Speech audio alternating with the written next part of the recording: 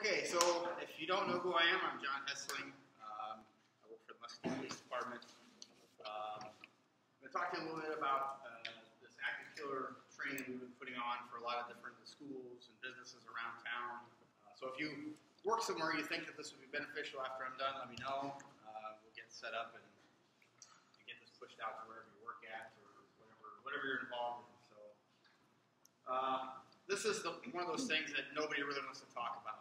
Nobody wants to think about this thing happening. Um, and I think Jim kind of spoke to uh, my point here is when something drastic like that happens, you don't know what you'll do. Uh, so thinking about it is step one. There's a lot of things with this you can't train to do um, as an average citizen. You kind of rely on people like me to come in and save the day. Not really. This isn't this isn't superhero training. So. Um, but just thinking about it uh, is beginning step here. So we want to talk about preparing for the day that we hope never comes. Um, I pared some of this down. There's a there's a video that we, we normally show as part of a, it's an excerpt from a Canadian crime TV show, um, and it begins with uh, the school shooting that's going on. It's one of the most realistic things we've ever been able to get a hold of to use for training to show people what really happens when this goes on. Uh, there's a lot of violence and gore, there's some language in it, so decided, well, we're not going to play that today, but it, it, it, shows a lot of people hiding under tables and, and, and the, the fact that the, these people that come in and do these types of things, they're not there to, to negotiate. They don't, they don't want anything other than what they're already doing. Um, so that's missing, so I apologize going to start with a little bit of history. So everybody remembers Columbine High School, right? It was huge in the news back in 99. So 13 people were killed, 21 people were wounded, and three were injured while escaping the killing zone. This changed um, how law enforcement responded to the events. Now, there was a lot of misinformation. Uh, for whatever reason, when big stuff like this happens, huge agencies come in and there's uh, a gag order. So people that are involved in this stuff aren't allowed to talk about it real information isn't put out there, misinformation gets put out there, okay? So 99% of anything you've ever heard about Columbine is not true, okay? Specifically, the thing that, that I'm passionate about is there were officers that were there immediately, went in, and did what they could with the training they had at the time. They weren't, we didn't have guys standing outside letting this terrible thing happen on the inside. All the video stuff that you probably saw was, was all reenactments was one video in the building. It's very grainy and very terrible. Um, so if that's not the video you saw, and you saw some nice dramatized thing with clear clear footage, that's fake. So um, while a lot of bad things did happen in Columbine, there was a lot of good done, but there was a lot that we learned from as well. Um, active killer events. So the U.S. Secret Service reports that no accurate profile exists for the type of people that come and do these active killer events. Okay, we've all seen those movies where the detective comes in and they can they can tell you that it's a 30 year old white male whose mom never loved him. You know, no profile exists for the people that do this type of, type of thing. They're they're there to cause mass casualties. They want high publicity because the news perpetuates this thing. Crazy. Uh, and they want the ability to control everything until the very end. They're looking for that enormous impact on the community so historically speaking, ineffective and incomplete safety protocols lead to repeated disastrous outcomes. So what have we done since since these things started happening? We shove it in a corner. We don't want to talk about it. We don't want to think about it. We don't want to train for it. We don't want to change anything to prevent it from happening. That's why this stuff continues to happen. I've not updated this since 2010.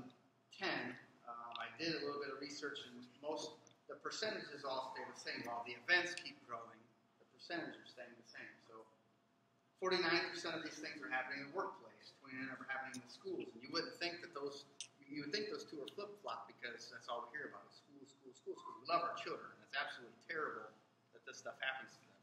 But the majority of this stuff, according to their the, the FBI and uh, Secret Service's definition, happens in workplaces. And then 49% are other, and those are like open air 29% uh, happen in other places. Those are open air environments like the, uh, the concert a couple years ago.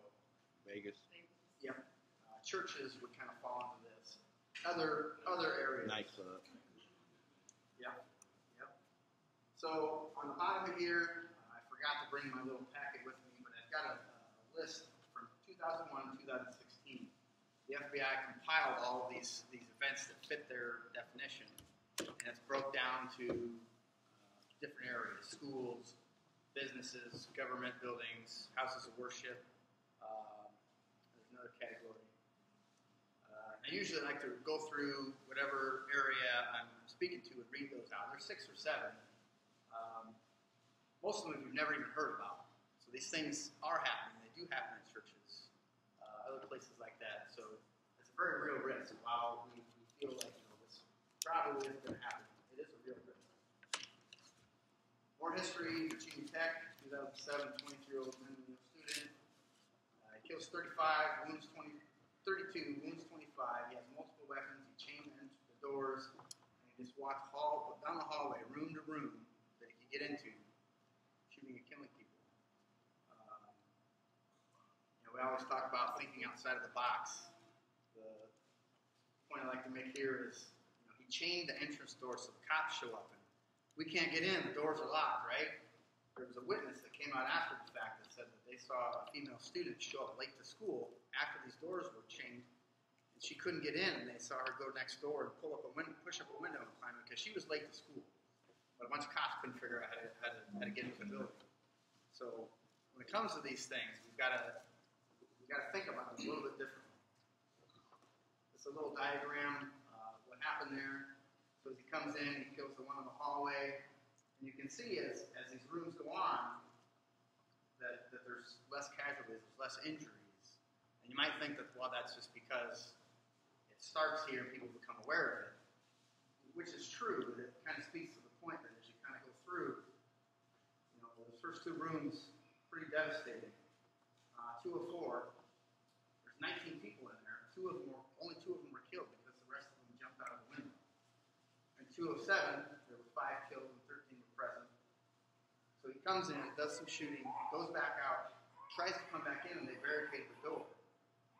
205, 12 kids present, zero killed, zero wounded because they barricaded the door. So if we've got something in place where that door is barricaded from the get-go, and bad guy can't get in, now we're starting to do our job. So, active shooters are there to kill.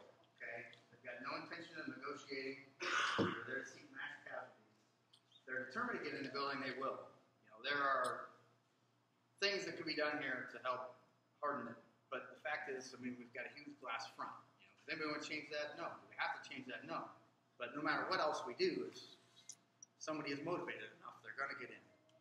Um, when they come, when somebody comes into a, a building with a gun, they are there to kill. There's no put the gun down. There's no how you doing, what's wrong. Like they're there to kill, and that's when it's time to act.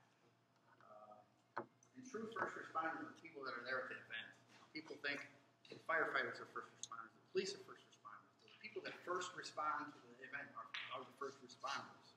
So to think through this, what you're going to do and how you're going to react, and not waiting for somebody else to, to do it for you is the is the goal. Because the police aren't going to respond until they're. Is there something we can do better? Uh, passiveness can be deadly in this. So we have to have we have to kind of change our mindset. A lot of times we think, well, you know, if something happens, this is what I'm going to do. You know, you need to think when something happens. When this happens, what are you going to do? Okay. So proactive leadership means preparing for the worst case scenario. We've got to educate people. We have to harden targets, limit access. We've got to do something to disrupt this, this person's actions.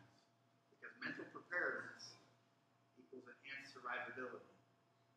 There was uh, Colonel John Boyd was a fighter pilot uh, several years ago, and he came up with this this uh, acronym called OODA loop, and it stands for Observe, Orient, Decide, and Act. So everything you do, you observe it, you orientate yourself to it, you decide that you're going to do it, and then you act. Well, his his training was how do we get how do we disrupt that OODA loop for bad fighter bad guy fighter pilots? But you can apply that to anything, and that's that's that's a lot of what we'll talk about a little bit later is doing something to disrupt this person's actions, make them continue to orient themselves or observe something so they're not deciding and acting. Most of these people, when they come in, they've already they've already orientated themselves to this building and they're here. They've decided now they're here acting, and anything we can do to, to break up that cycle is going to help us survive. Uh, anonymous quote: "Experience is something you, get right after you need it." Uh, one of the things that we talk about in, our training with the team is you don't want the first time you do something to be the first time you do something. Now, we're not going to be able to do something here for the first time necessarily, but the first time you think about this, I don't want it to be the first time you thought about it. So the Department of Homeland Security came up with this program. It's really simple. Uh, I like it. It's run, fight, fight. So run, get out of the, the scenario if you can. If you can't, hide. Find somewhere to hide. That's, that's uh, a safe place to be. And at the last resort, fight back. Again, this isn't superhero training. I'm not telling everybody to, to go out and learn kung fu and come in here and, and, and save everybody. But everybody has the capability to do some kind of fighting if the scenario calls for it. So again, it's just thinking about it will help. Again, not mandating that must do this, but providing some options to choose from in your greatest moment of need.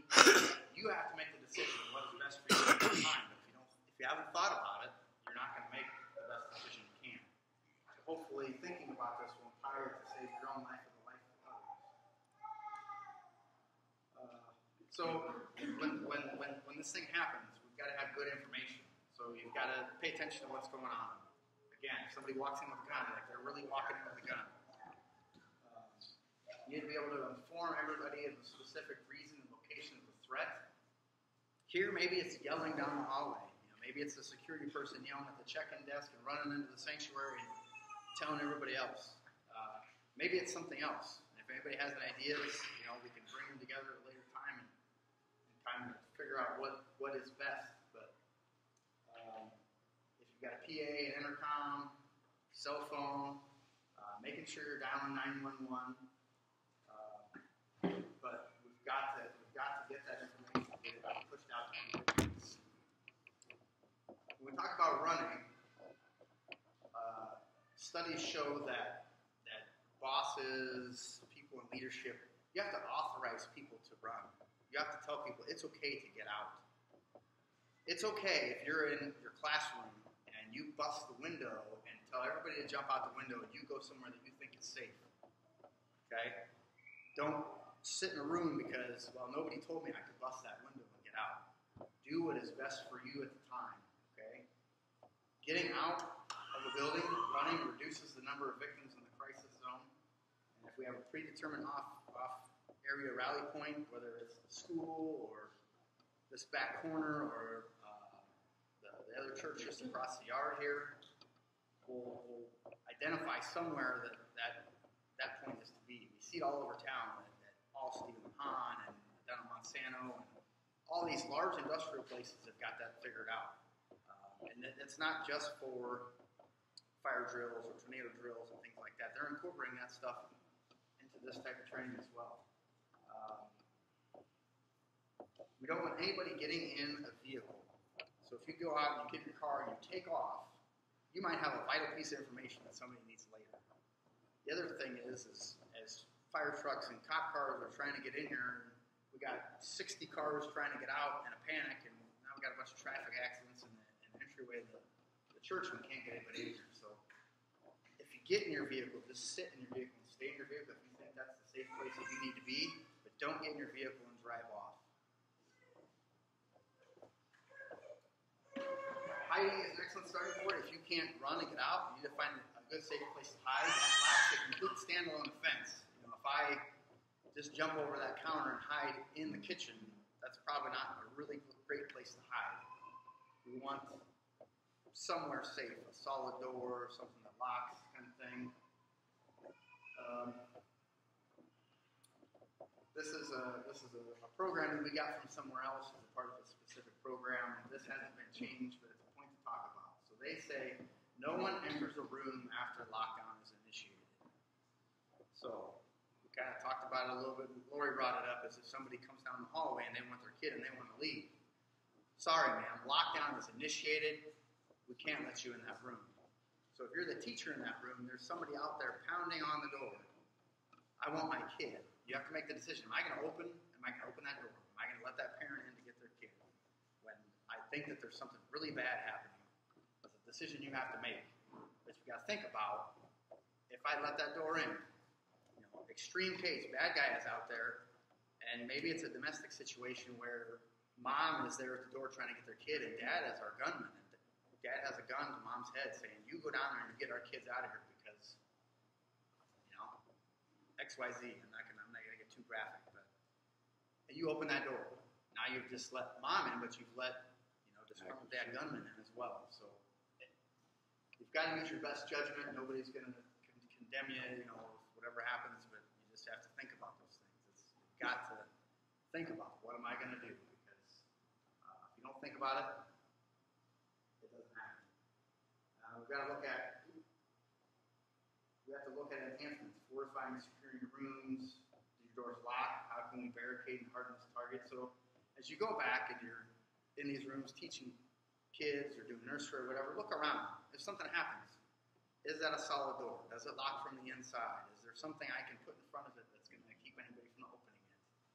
Um, just, just little things so when it happens, you know what you're going to do. And if we're fighting, the goal is to enhance survivability, right? Nobody's gonna, nobody just, most of us don't just go out and get in fights for fun, okay? I would say nobody in this room goes out and gets, gets in fights for fun. Some people do, uh, most people don't. There are lots of things you can go out and you can learn, you can teach yourself. Those, those are kind of on you, but some of that stuff is easy to learn. It could enhance your survivability, it could help you take care of somebody else. Uh, if somebody comes in here with a gun and you're close and you've made that decision, you've, you've observed, you've orientated yourself, you've made that decision as you act. The idea is to secure that weapon. You hit the guy in the head and he falls down, and you just stand there and watch him, and he reaches over and picks the gun back up. That's not that's not the goal. Kick the thing. One of the things we tell people is take the gun and throw it in the trash can. Who looks in a trash can for a gun? Not the bad guy that you just knocked unconscious on the floor when he comes to. You. And you're not standing there holding it when the police show up looking for a gunman, right? Nobody wants that either. So stick in the trash can. It's just a really simple, easy place to remember. Um, everybody we've talked to uh, seems seems pretty agreeable with that. So uh, the other thing is, is hopefully this just this can help empower you to save your life or somebody else's. Okay, because you are the first responders. Again, the police, we're coming, but we're not there yet. You guys are. So make sure that you make that decision, and if you're going to do it, be aggressive.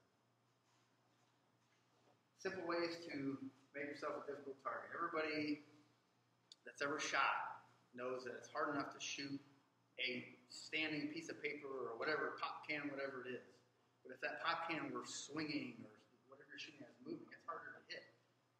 So move, don't stand still. Make some noise, cause distractions, create distance. The, the school has gone through some ALICE training.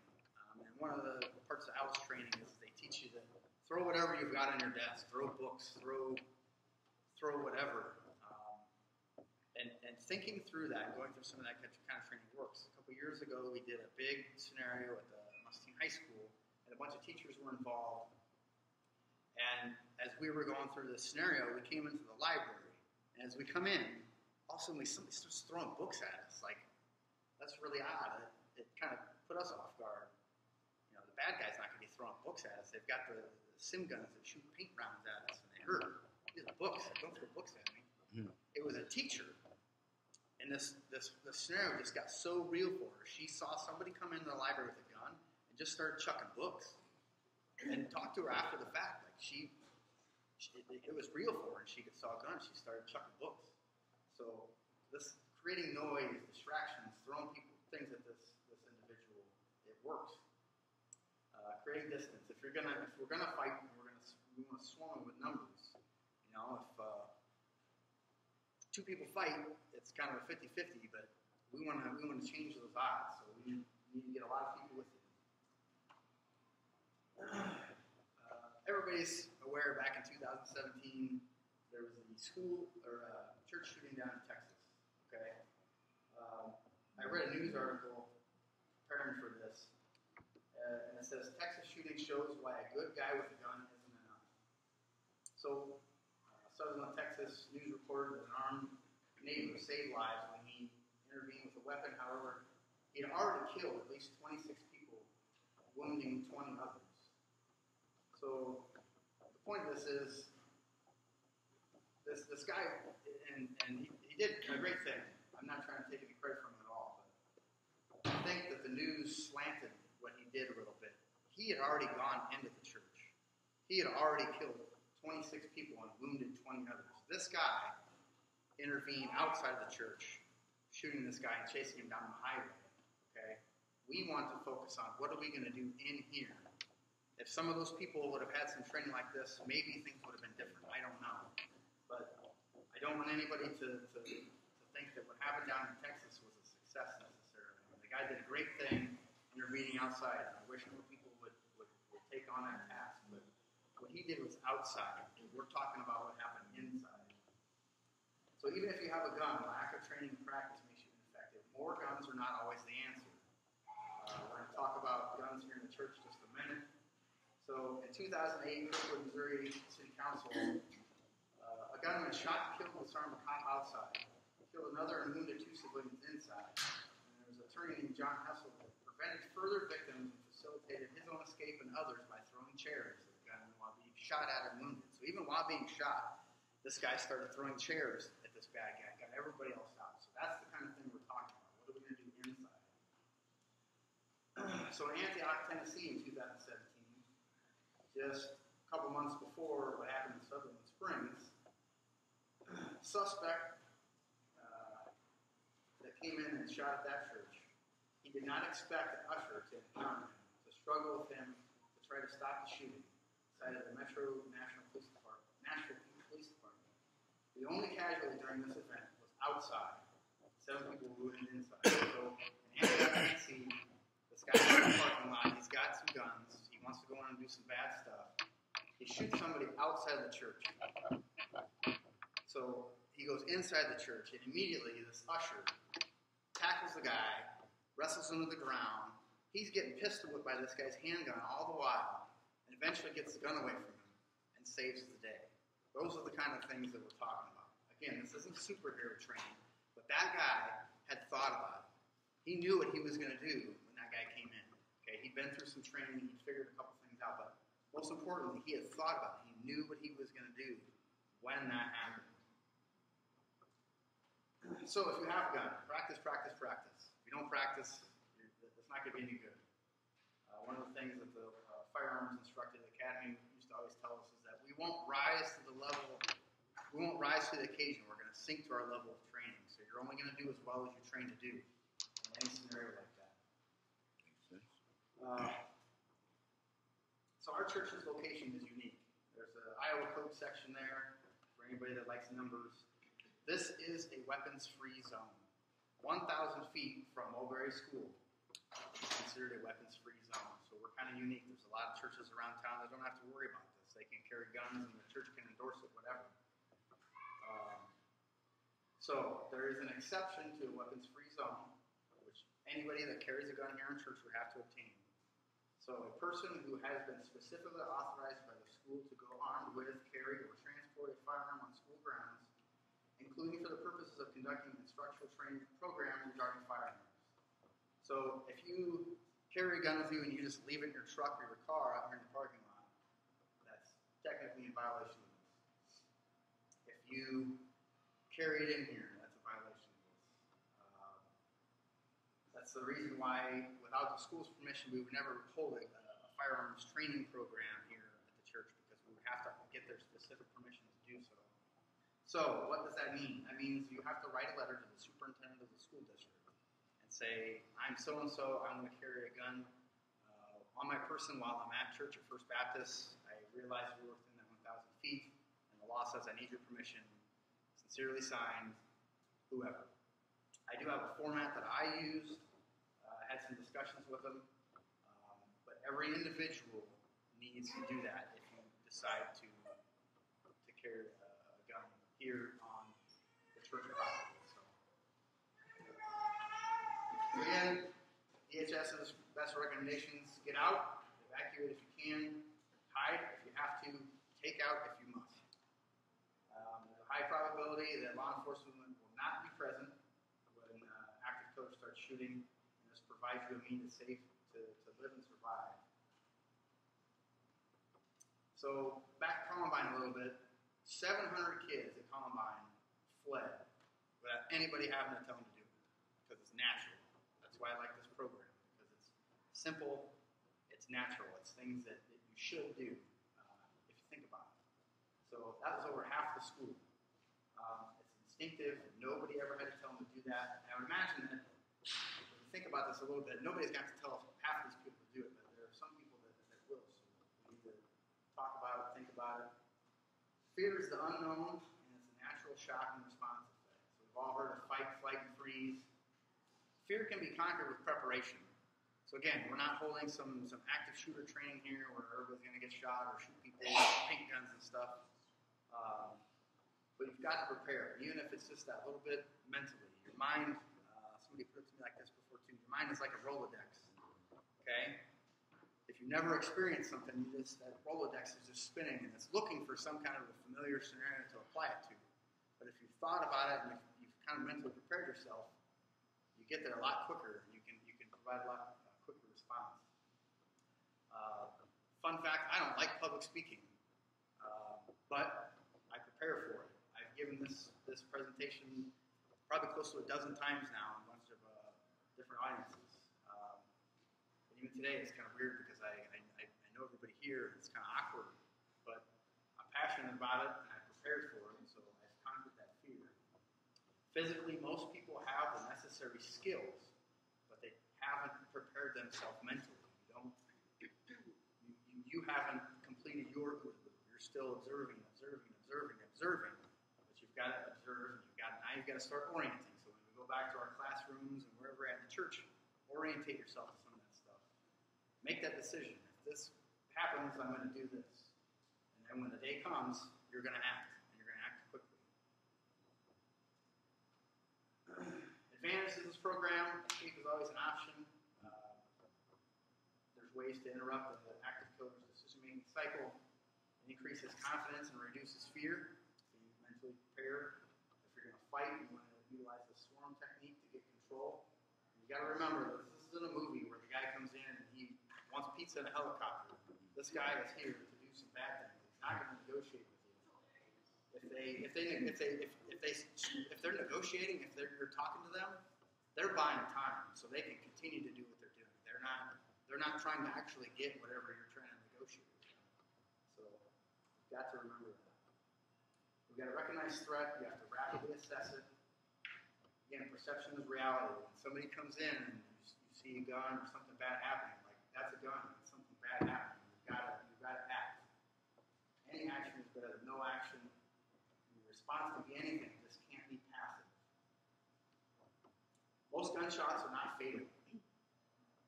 We've got an individual in town uh, that I personally know that has been shot, physically shot. He's been stabbed. He's been shot at. He's still walking around alive um, and well, fortunately. So 80% of gunshot wounds are survivable. Um, law enforcement, again, since all these incidents have happened, we've changed how we respond to things. Uh, we're getting first aid in here a lot quicker. Uh, so many of the fatalities are due to bleeding out, so we're mitigating that problem. We've got to control bleeding, so use a first aid kit, put pressure on things, stuff law enforcement will respond immediately. It's going to take a little bit of time to get here once 911's been called. Um, when something like this happens, our primary goal is to locate, contain, and stop the killer. So we're going to be asking questions, and we're moving on. And as we move on, now we've created a space behind us for somebody to bring uh, EMTs in, start treating people, or somebody else to grab you and drag you outside so EMTs can, can treat you. So those first couple of officers are going to come in, they're going to ask some questions, and they're going to move on. Don't grab onto them. I know this is a dire scenario and you want some help, but there are other people that need help as well. If we can get in and contain and stop the killer, that's that's that's goal number one. Um, and keep your hands visible. If you're laying on the ground and you're you can hear us and we're saying show us your hands and you hide your hands under your body, you better be telling us why you're hiding your hands under your body because otherwise we think that you're somebody trying to keep your hands visible if you can. You can't, explain why. Uh, I cut out this video on the end of it just to kind of save another 10 minutes. So um, that is that. Anybody have any brief questions so we don't drag this thing out too far? If anybody has some in-depth questions, I'll get with you afterwards. Or you can email me or call me or pull me aside at some other time. Yep. Yep. If somebody's out to get to you, you have the right to defend yourself. Yep. Yep. Or Hit 'em. The kids are. Hit them with a fire extinguisher, spray the fire extinguisher at them. I don't know if you've ever had a fire extinguisher sprayed at you, but it's nasty. Uh, it takes your breath away. So uh, it's, a, it's a good tool. Yes. Yep, lot of us have cell phones from other areas. If I call nine one one, does it hit off the counter? Yep. That's, it stays here longer. Yes. A two-part question. The glass in the doors, I know it's reinforced. Uh, is it just safety glass only, or is it actually bullet resistant? Uh, that is probably safety glass only. I would almost guarantee it's not bullet resistant. The nice thing is, is we have we have small lights at the doors. Uh, so I assume you're talking about the internal doors. Yeah, Well, the, the ones in the classroom. Yes, yep. they're they're we got small lights in those doors. So yeah, I mean for somebody to bust it out and reach in and, and, and open the door, probably not going to happen. Most of these people, what happens is, is they're cruising down the hallway.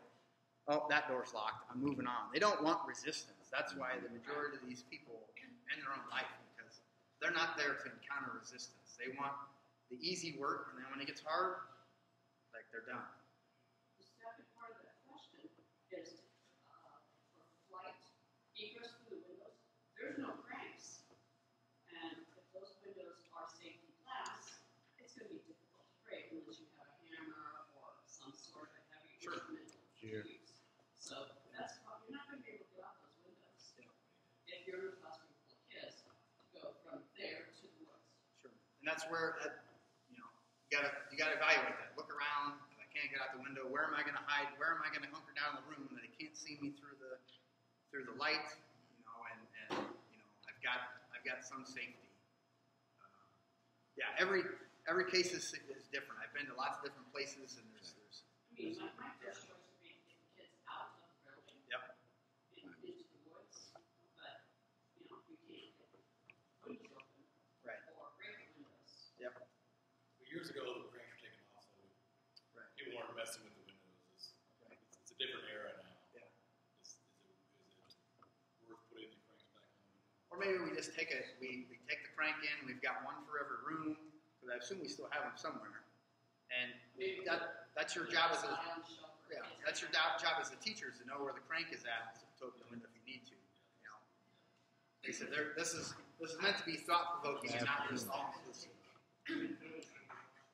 I just say, I have no problems with that being in the room, I just, I just don't know the boxes. I don't know. Yeah, talk to Kelly. So, like I said, if anybody has any follow up questions, I'm available whenever. Um, if you work somewhere you think something like this would be beneficial, let me know and we'll get that pushed out there as well. Thanks, John. Thanks, John.